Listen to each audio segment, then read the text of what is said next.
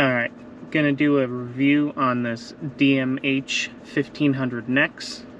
Um, I previously posted a video showing how to play movies on this unit.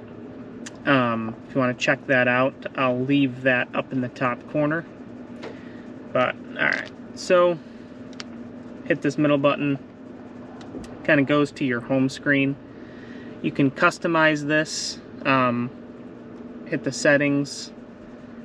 Uh, I believe it is down here, the second one, customize home settings.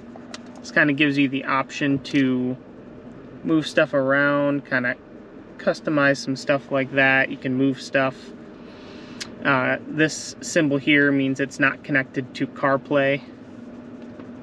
That is just because I don't have my phone plugged in at this moment but we will we'll go through that in a second as well. Uh, let me see here. So go back to the home screen. To change the time and date, just click that. You can change the uh, the date and time and go to 24 hour time as well. Uh, can I mean this connects to your phone uh, through Bluetooth. I haven't really had any issues with this unit.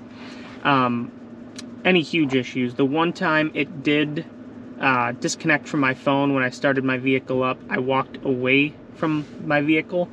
It disconnected from my phone, and then when I got back into range um, and I got back in my truck, it would not connect to my phone no matter how many times I hit this right here and then try to connect it to my phone. It just it would not connect. Ended up having to disconnect my phone, delete it off this unit, and then repair it again. And then it's worked ever since. Um, so that's the only time I really had any issues with it. So let's go back into settings. Um, this is where you can favorite some settings. I have the dimmer settings in my favorites because for some reason, reason the auto dimmer just doesn't really work that great for me.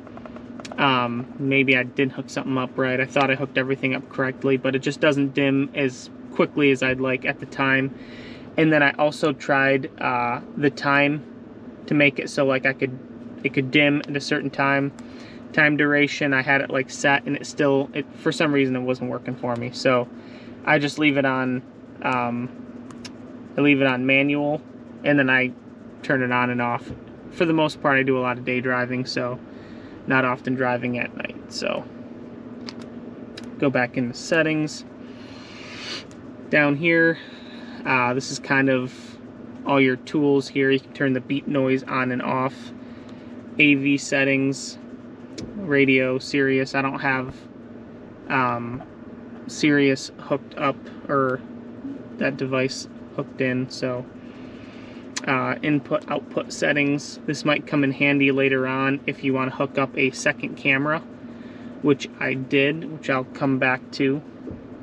Camera settings. My backup camera is on. My vehicle didn't have a backup camera before, so I ended up adding that to this. So, so just some of the settings that you got on this thing. Demo mode, obviously make sure it is off or you won't have everything, you won't be able to set everything up correctly for your vehicle.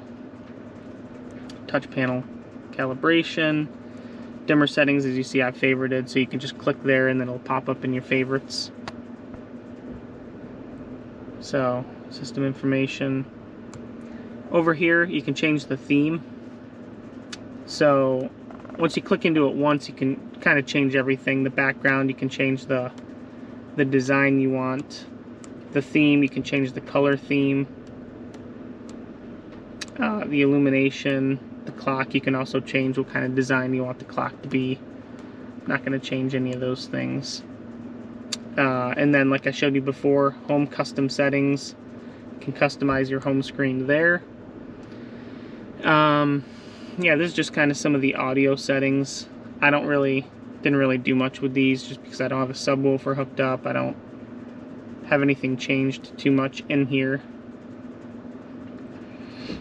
But bunch of different settings. As you see, you can change video setup. Um, so that's where I believe I had to change some of these settings when I hooked up my second camera. Bluetooth, just some of the settings, and this is where you would delete your Bluetooth memory clear.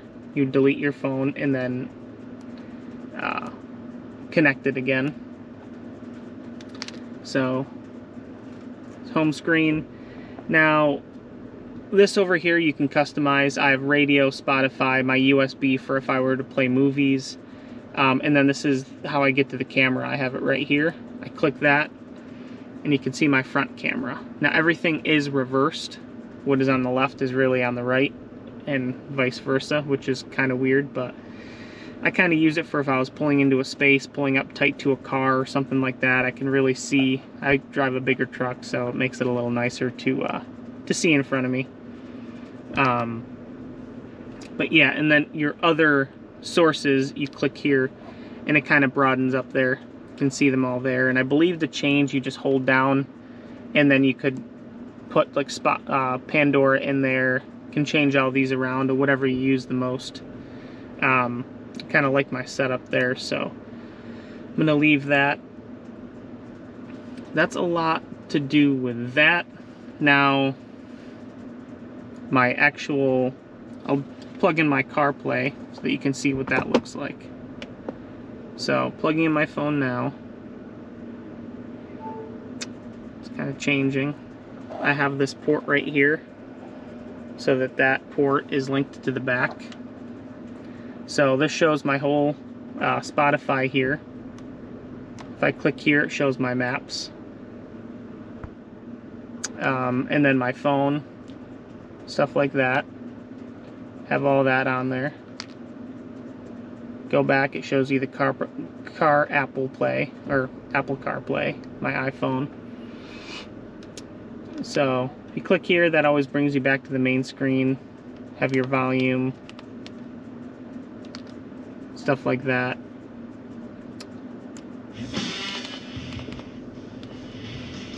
And then to mute it, you just hit this X here and that meets it. So that's the Pioneer DMH 1500X.